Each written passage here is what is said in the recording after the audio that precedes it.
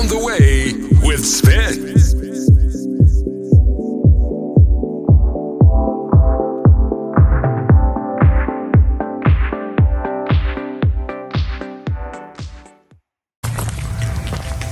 So, guten Morgen. Taschenlampen, Wanderer. Ich bin auch früher heute geflüchtet. Ich kann euch erklären heute warum.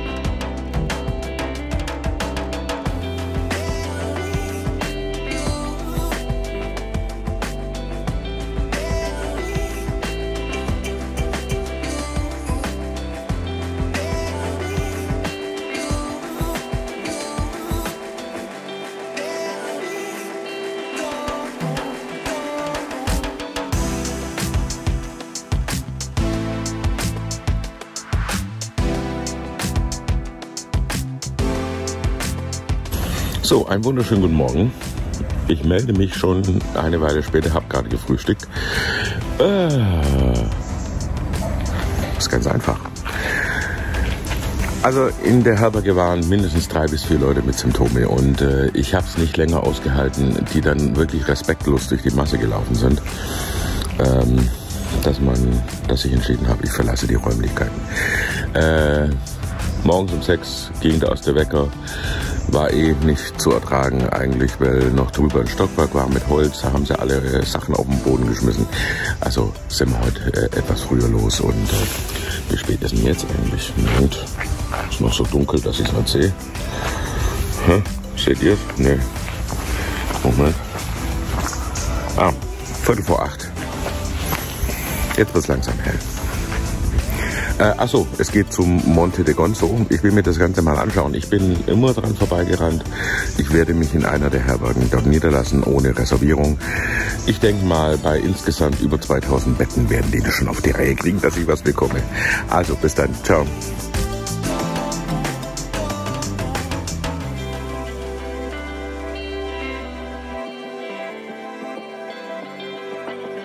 Ah, es ist schon eine... Jetzt geradeaus auf ROAP Reglino.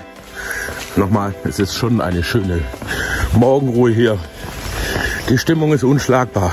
Oh, ich muss Fotos machen. Tut mir leid.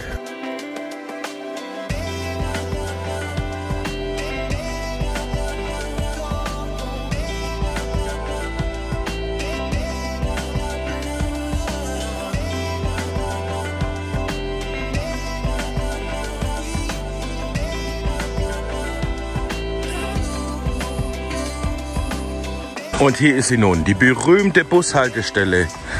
Die hier ist, die kennt wohl jeder, oder? Ne, ich auch nicht. Bei nächster Möglichkeit rechts.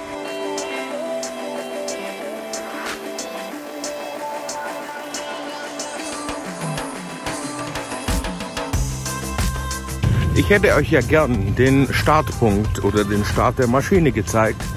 Alle sind hellauf begeistert, gucken in die Richtung der Maschine und äh, ich kann euch gleich zeigen, was sie sehen. Nichts. Das Problem ist Nebel. Nebel, Nebel, Nebel. Foggy. Good morning. Buon camino. Nebel.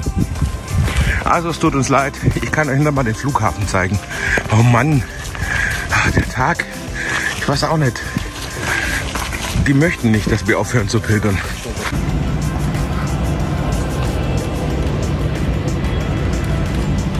Seht ihr es? Da ist es. Die Außerirdischen sind gelandet.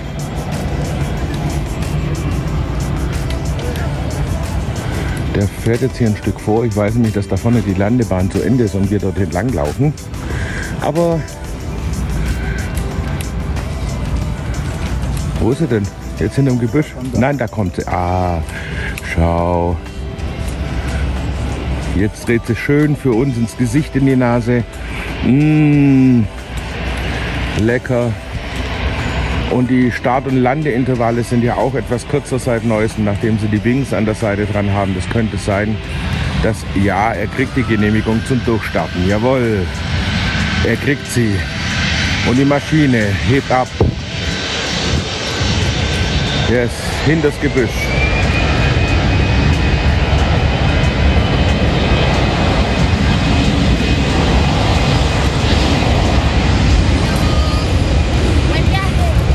Buon camino!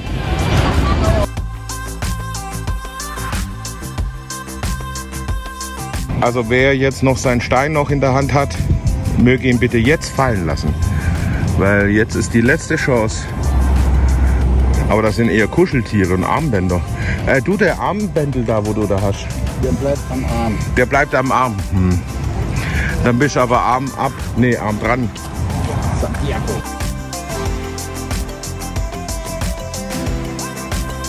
So, jetzt könnt ihr dreimal raten, wo wir sind. Erste Mal falsch, zweite Mal falsch, dritte Mal falsch. Oh Mann, es tut mir leid, ich muss euch erklären. Wir sind an der Befeuerungsanlage von der Landebahn. Aber viele Leute kennen das bestimmt.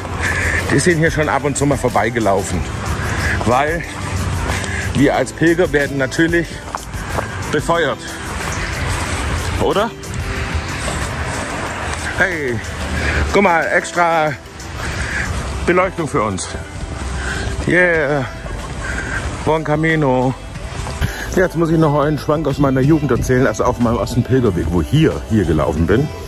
Das Thema war, also ich habe keinen guten Empfang, weil ich muss ein Total-Backup vom Handy machen, bevor ich den Livestream mache, weil es kein Platz mehr auf dem System. Ähm, hier geht es den Weg geradeaus zum Flughafen. Und der ist ziemlich lang, weil die Landebahn ziemlich lang ist, also ein paar Kilometer. Ähm, und da hat es quasi wie gestern Nachmittag geschüttet, Jetzt umkehren. geschüttet wie in Strömen. Und dann kam ich quasi in der, im Terminal an und habe mein Flugticket gekauft. Und danach musste das Putzpersonal meine Pfütze vor dem Schalter quasi wegputzen. Aber da habe ich mich dann entschieden, diese Kilometer, die ich zur Landebahn hintergelaufen bin, zum Terminal, diese bin ich dann mit dem Taxi hier rechts rüber ins Hotel gefahren. Das war die Geschichte vom ersten Jakobsweg und da war es richtig nass. So richtig nass. Jetzt umkehren. Ja, ihr hättet auch nichts dagegen, wenn ich jetzt umkehren würde. Ich wollte ja meine Videos gucken, wie ich es mitbekommen habe. Die Tour wird angepasst.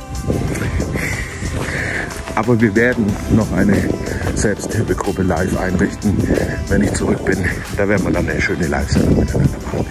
Und darüber Smalltalk alle miteinander.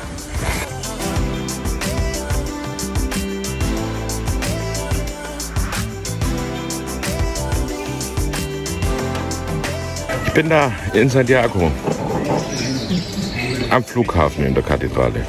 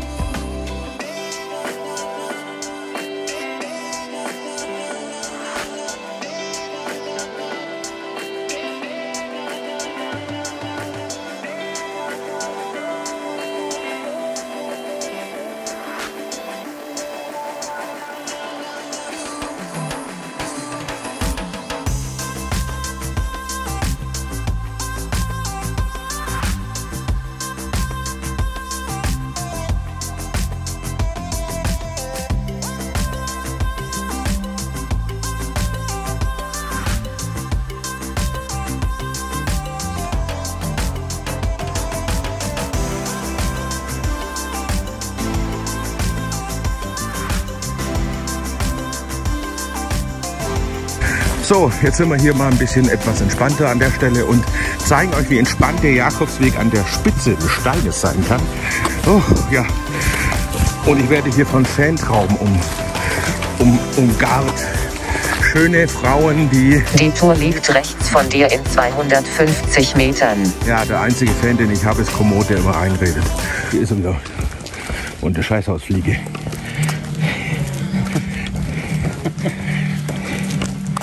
Und er ist gut drauf.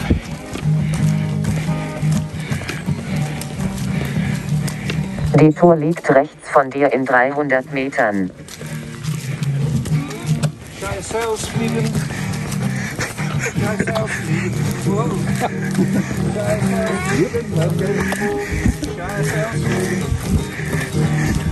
Guten Abend, oh, guten Abend.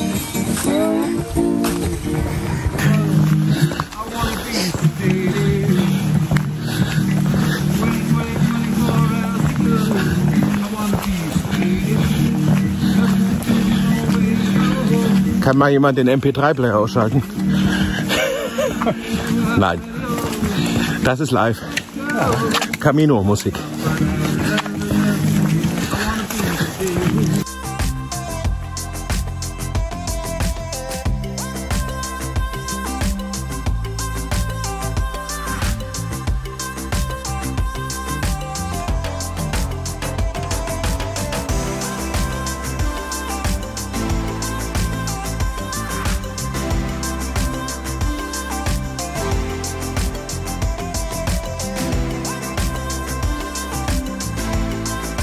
Ja, wir schaffen es endgültig, uns nicht mehr von der Masse zu entfernen.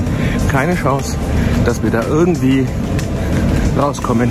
Wir werden jetzt mit Menschenmassen leben müssen. So, hier gibt es jetzt quasi äh, der Souvenirladen. Sehr schön. Darauf. Du bist zurück auf der Tour.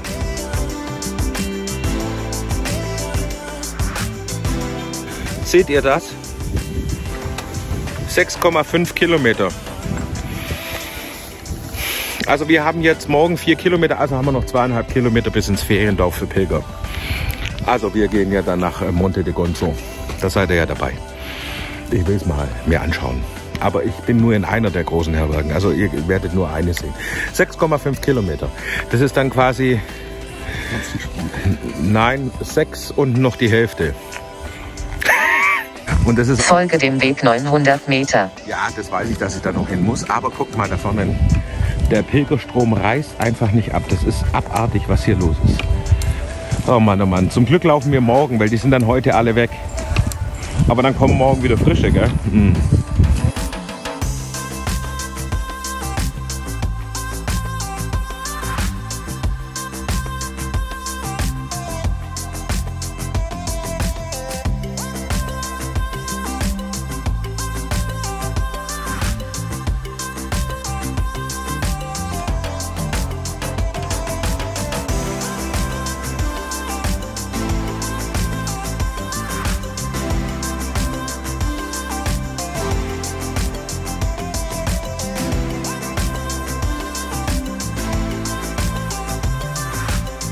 Wo sind wir hier gelandet?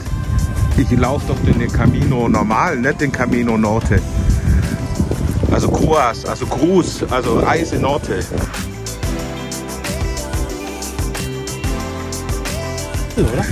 Ganz schön hier. Das sind die kleinen Kirchen schon Highlights hier. Bitte anstellen. Also hier, ab hier noch eine Stunde. Anders will ich es nicht bezeichnen. Genau. Vielleicht sollte man einen digitalen Stempel fürs Handy erfinden. Echt unfassbar, oder? Guckt euch das an. Also ich laufe den Jakobsweg weiter. Was machst du? Da oben laufen auch Leute. Ach, äh, du, wir sind. Und hier, an dieser Stelle, ich zeige es euch mal, seht ihr das tolle Pilgerdenkmal. Überraschung. Ich habe es wegretuschiert mit Photoshop. Mhm. Und wenn ihr nicht mal kommt, müsst ihr das auch wegretuschieren, dass es dann nicht mehr da ist. Nee, es gibt es einfach nicht mehr. Die haben es irgendwie eingeebnet, hat mir einer gesagt. Ich laufe jetzt aber nicht hoch, weil ich gehe jetzt in meine Unterkunft. Es fängt schon ein bisschen an zu nähen. Regeln, Regeln, Re regnen. Also,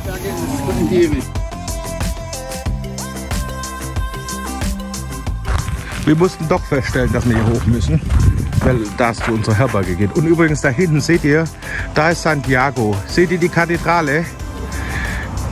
Gut, ich auch nicht. Wenn ihr sie jetzt seht, dann mache ich mir Sorgen.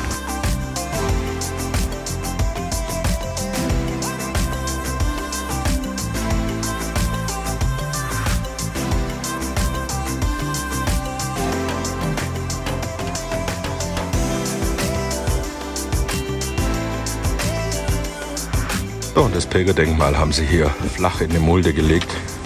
Ich weiß zwar auch nicht warum, aber kann man machen. Aber ich weiß nicht warum. Verstehe ich nicht. Ich lasse mal wieder raus und zeig's euch. Bei nächster Möglichkeit rechts halten. Das ist jetzt das Pilgerdenkmal. Traurig. Nichts mehr Schönes.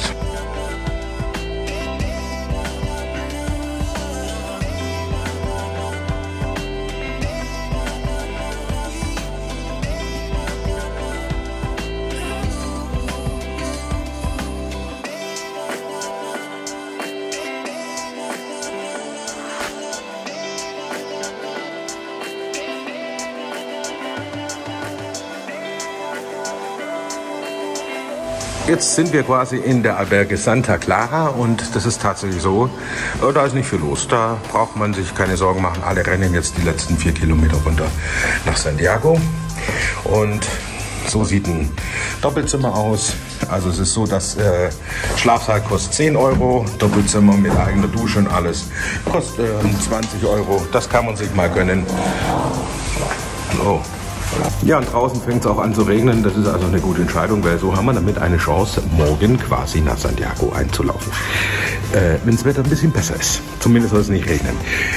Also, morgen Santiago 11 Uhr, ihr wisst Bescheid. Äh, ich gucke, dass es technisch hinhaut. Äh, ein technischer Hinweis noch, ähm, der Stream wird neu aufgesetzt. Das heißt, äh, wenn ihr jetzt quasi auf diesen aktuellen vorgemeldeten Stream reingeht, werdet ihr nicht sehen, das ist technisch nicht möglich. Das heißt, ihr werdet einen neuen Stream neu aufkriegen in meinem Kanal, wo dann quasi die Live-Übertragung stattfindet.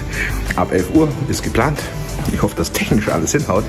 Und dann laufen wir zusammen auf den Platz und legen uns mal hin. Und wir schauen uns einfach mal eine Weile die Kathedrale und die Stimmung an. Da gibt es keine Musik, da gibt es nichts, sondern einfach nur am Anfang dumme Kommentare von mir. Und zum Schluss gibt es dann halt einfach nichts. Außer wir gucken. Ich kann auf den Chat nicht reagieren. Das kann ich gleich schon mal sagen. Ihr könnt untereinander miteinander reden, aber auf den Chat kann ich nicht eingehen lässt einfach mein komplettes Service-Team total überfordern. Das ähm, besteht aus mir, mir und mir, das Service-Team. Das bedeutet, ich bin Personalunion, nennt sich das so schön. also ich wünsche euch was. Äh, morgen dann Einlauf.